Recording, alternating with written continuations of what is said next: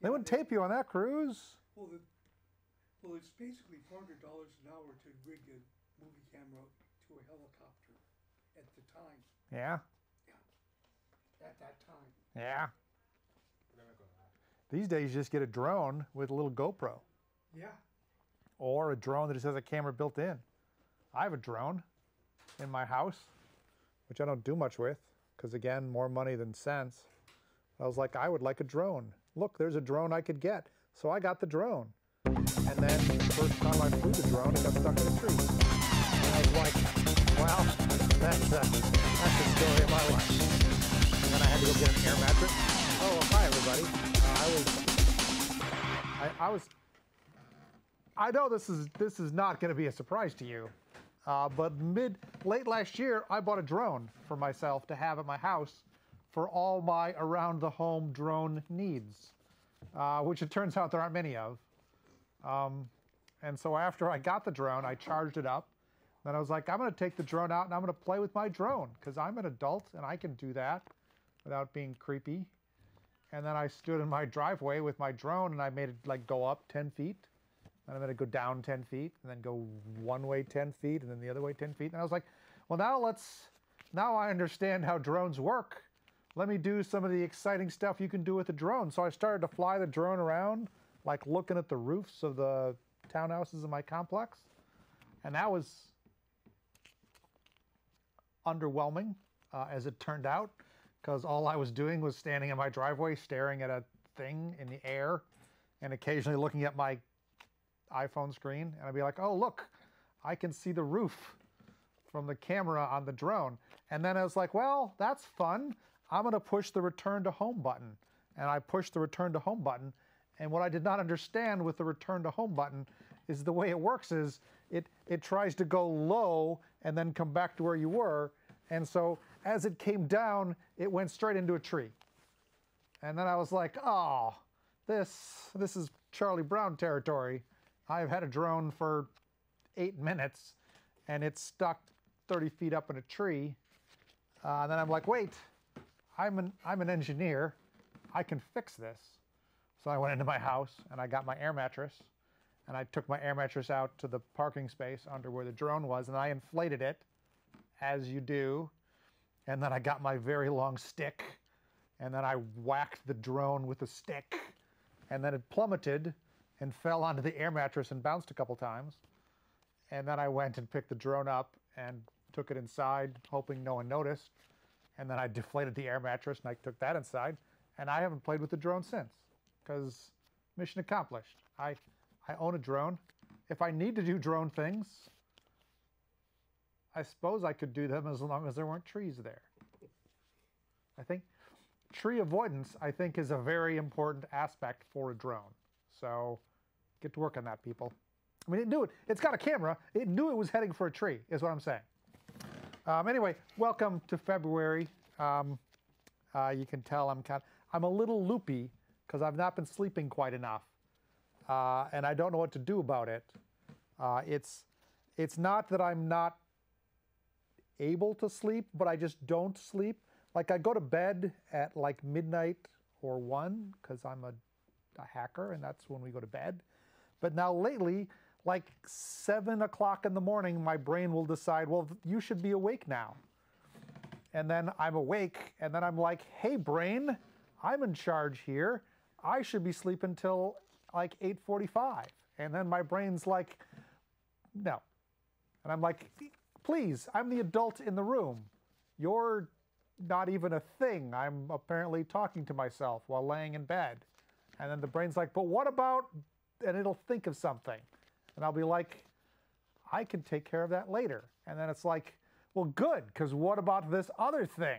And then I'm like, yes, also later. And it's like, I can keep this up all morning. And then it does. And then after like half an hour, I'll like get up and I'll go downstairs. I'll be like, fine, brain. Look, now we're downstairs.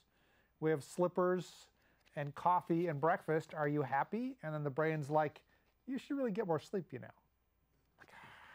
Anyway, so I'm, I'm a little loopy on the not enough sleep for a while. Um, and hang, stay there, stay there. This is a first ever See, I, I dropped my first page of notes and I had to go rescue them. Um, uh, as you know, before the show, uh, I wrote my notes with a Sharpie. Um, I don't know why I write them with a Sharpie. I also don't know why I fold the paper in half and write on it that way, but I do, always have, probably always will. Um, but this, oh, and, and this week uh, I forgot my Sharpie, so they're written with just a regular pen, a regular gel pen. See, they're not quite as thin. But look, look at this very first page.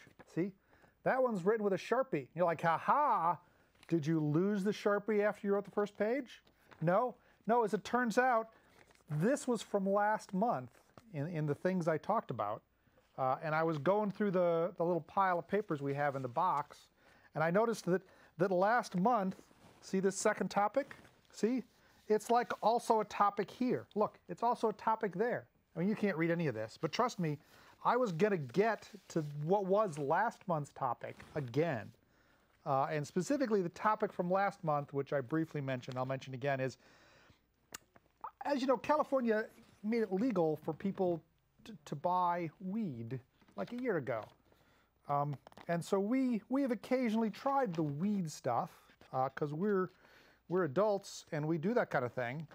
Uh, and we were in our little place where we buy weed, and off on the side, they had a little place where they were selling tiny weed plants in little cups. They were like, hey, you could buy your own weed plant and take it home and talk to it and be friendly. And I was like, man, are those cute. We should buy one of those. And everybody's like, no, we kill plants. Have you, have you not noticed that we have no plants in our house and never have? I'm like, but we, it would be cute. We'd remember to water it. And she's like, I don't think we would. Uh, and then I convinced her that we should buy a weed plant. Uh, and we did that in December. We brought it home, and then it died. Uh, it just totally died. We don't know why it died. Uh, I, we have our suspicions. We think we watered it too much, or not enough, or maybe it didn't get enough light. There are all these possibilities of why the weed plant died, but it did. Uh, and so we thought long and hard uh, are we morally responsible for murdering a plant? uh, a plant which everyone calls weed, which makes me assume it should not be hard to grow. Like my, as a child, I recall the lawn, it was hard to keep the lawn looking good because it would get covered with dandelions, which were weeds. It was not hard for the dandelions to grow. They were weeds. That's what they did. They just grew whether you wanted them to or not. Whereas grass, grass apparently requires effort and fertilizer and mowing and thatching and lots of things that I had to participate in unwillingly as a teenager. Um, but I, I have always assumed any plant which, which has the word weed in it would just know how to do its thing on its own. Uh, and so we, we killed our weed plant in December, and then we felt bad. Uh, and then in January, we're like, well, this time we'll do it right.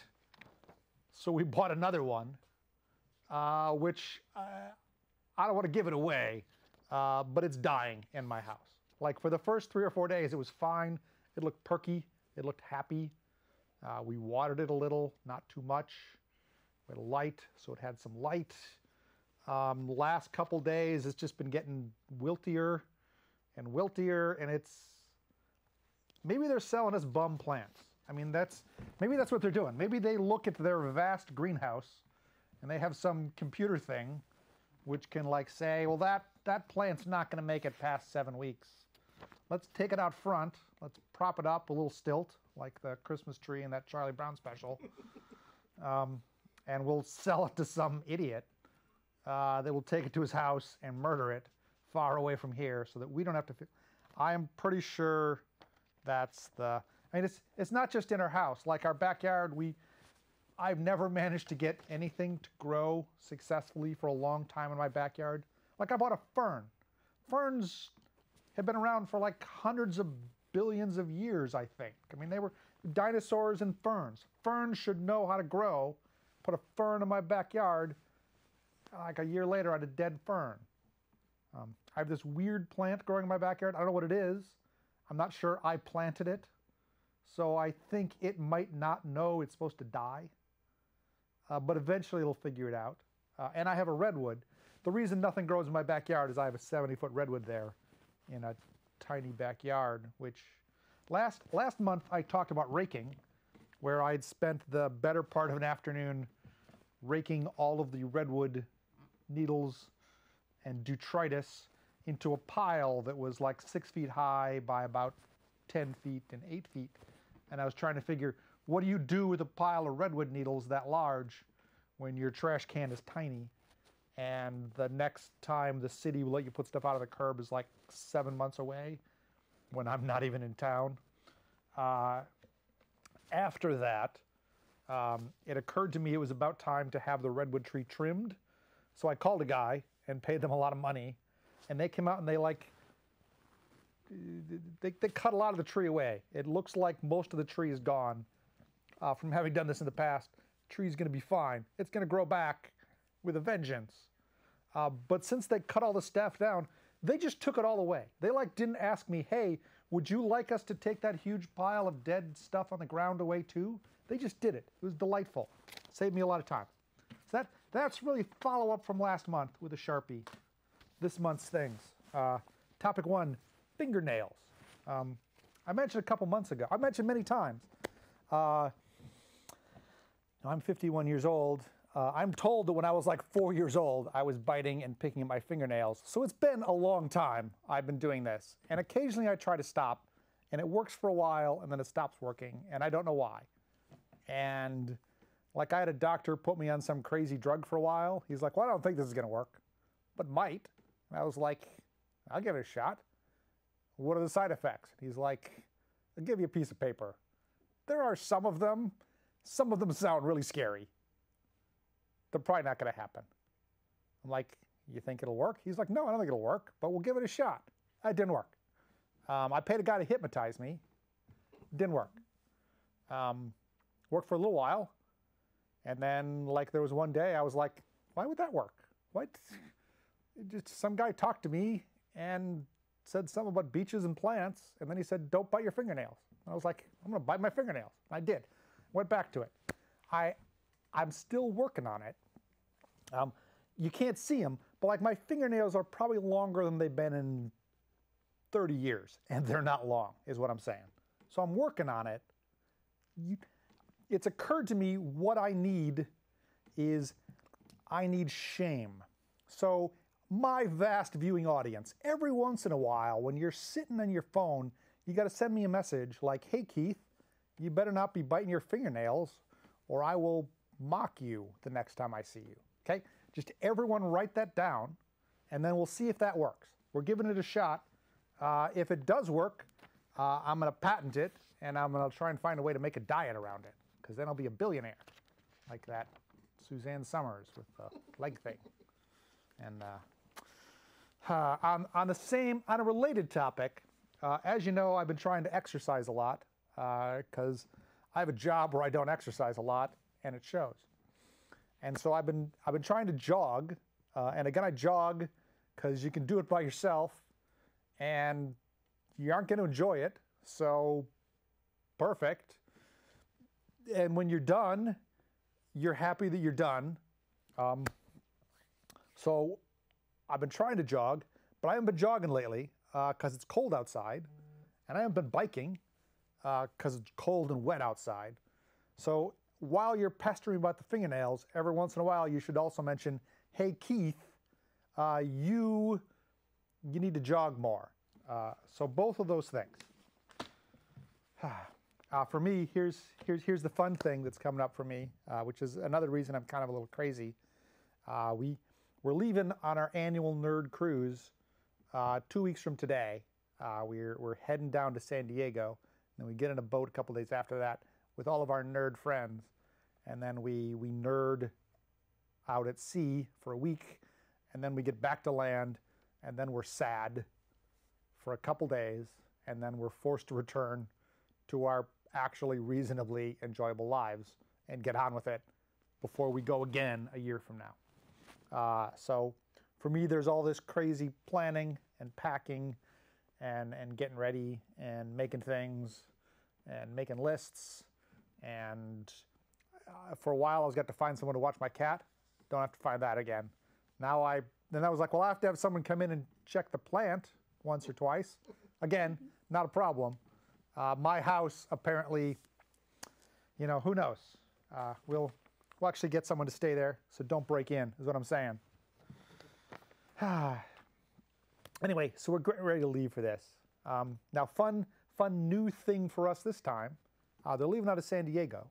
Last year, they also left out of San Diego, and we we drove down to San Diego because we wanted to do a bunch of sightseeing along the way. Uh, that was okay, uh, but turns out I hate driving. And I knew I hated driving, but I did it anyway because I had to get there. I didn't feel like flying. This year, we're going to take Amtrak from here to San Diego because a bunch of other people we know are also taking Amtrak. So we're going to get on the party train uh, with our bottle of scotch or whiskey or whatever. Might be rum for me. Maybe I'll take rum. I don't know. We'll get on the party train, and then someone else will drive uh, along a very exclusive single lane, guy up front with a hat, uh, and we'll just be in the back sitting there enjoying life. Uh, and then, like 14 hours later, we'll be in San Diego, and then we'll check into the hotel, uh, and then I'll wake up at 7 a.m. for God knows what reason, um, and then and then we'll do stuff. Uh, we'll get on the boat. Now, before then, I have a bunch of things I have to do. Uh, like I mentioned, I have to pack. I have to do laundry. I have to go in the attic and find a bunch of crap that I probably put in the attic a year ago when we got back, because that's what I do. Um, uh, but since we know a lot of people on the boat, because we've been going for a while and now they're friends of ours, uh, we, we make like little tchotchkes to give out so that people will love us, um, or at least they'll pretend to love us so that we'll give them a thing. Um, ordinarily, uh, I would be I would have multiple blocks booked at Tech Shop, like last week and this week and next week, so I get all this stuff made. Except Tech Shop went bankrupt, and then they closed, and now I cannot use the the lasers at Tech Shop to make things. So I'm scrambling. Like I've I've asked all the people I know, hey, does anyone have a laser I can use? And some people have been like, yeah, I got a laser you can use. And I'm like, man, I got the best friend. I'm like, does it have a rotary attachment? And they're like, no. I'm like, oh, I need rotary attachment, people. So I'm, I'm having to. I got backups of plans of how I'm to make things. It is, it, oh, it's getting, it's getting crazy. I, I'm not sure if I'm to have enough time to make all the things I want to make. I'm not sure if I know how to make all the things I'm to make, but I'm going to work on it. Um, oh, what else have we got here? Uh, once again, I'm going to try and do scuba uh, on, on one of the stops. Last year I wanted to do scuba, but I lost my wallet with my scuba card, so I couldn't do scuba. I was sad. This year, I'm going to try not to lose my wallet. That's another thing. You, you don't have to text me that. I already know not to lose my wallet.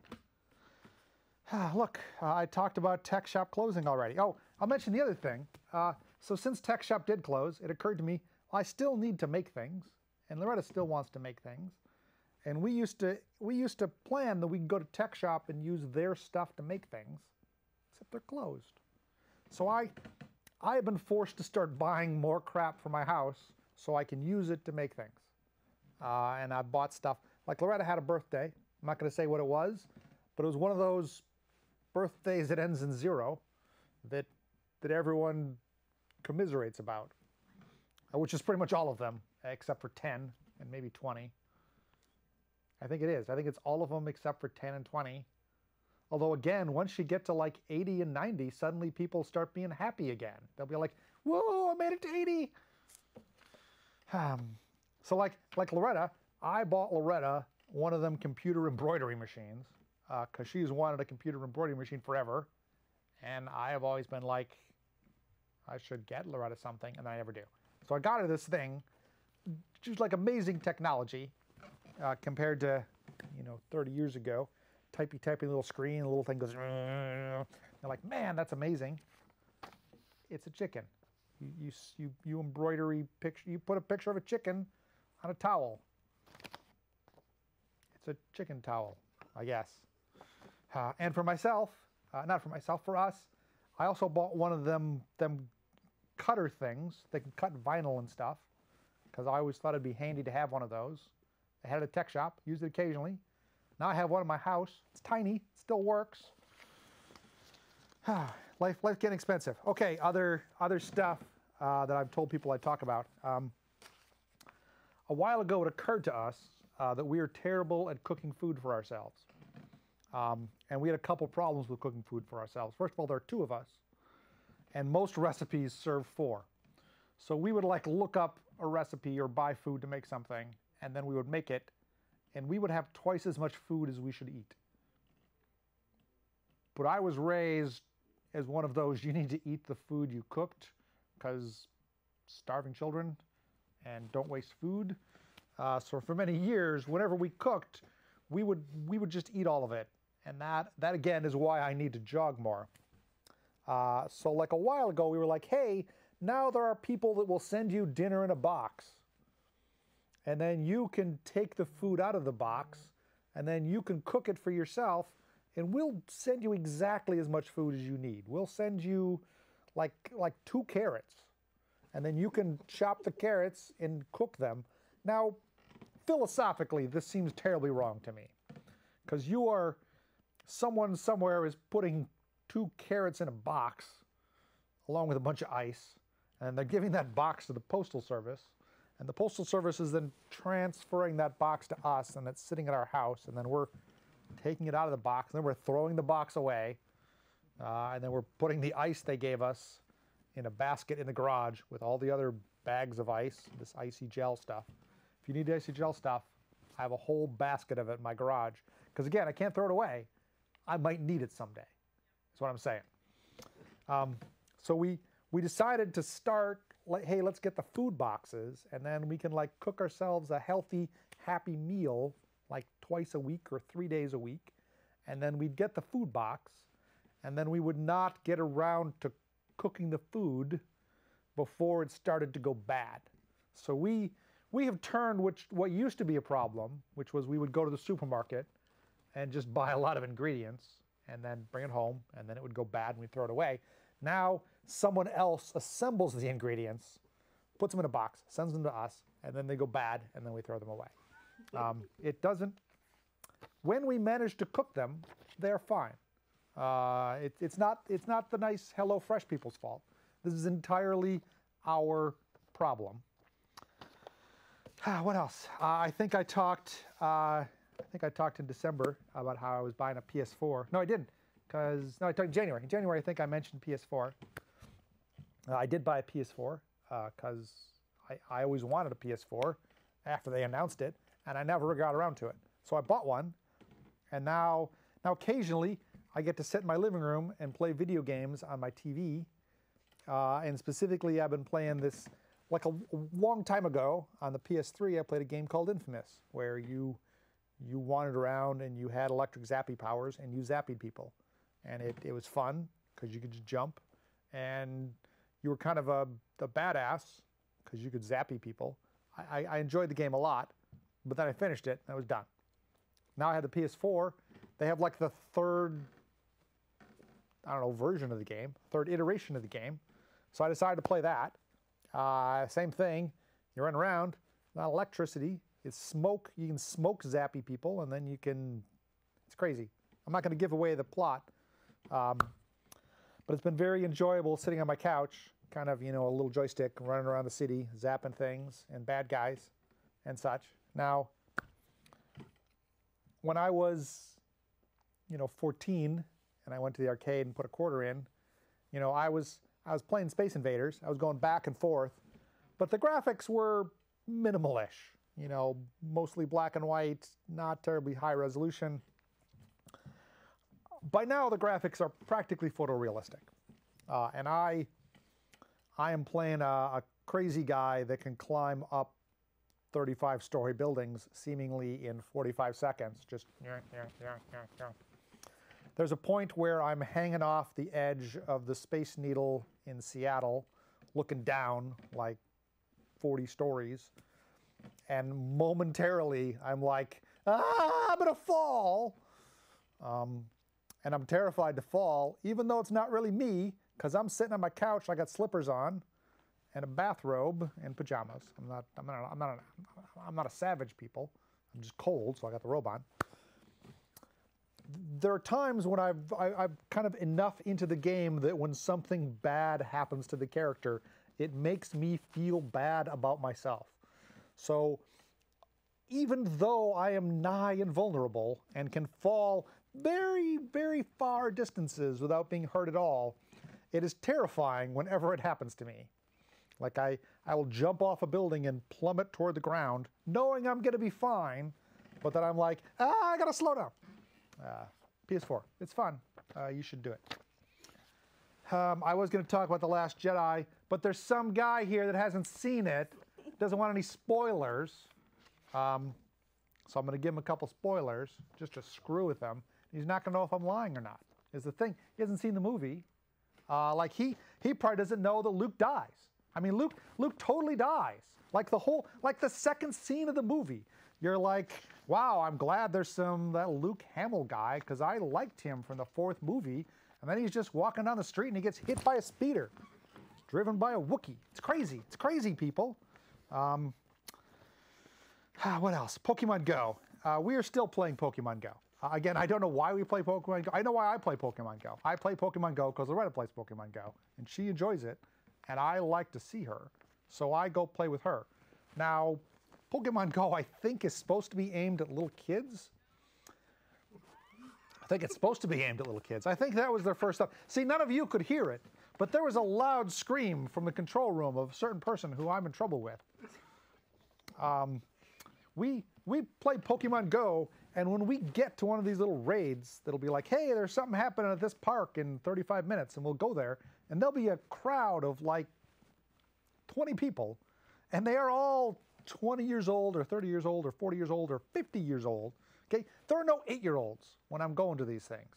It's just if if that's who they were aiming at, they failed.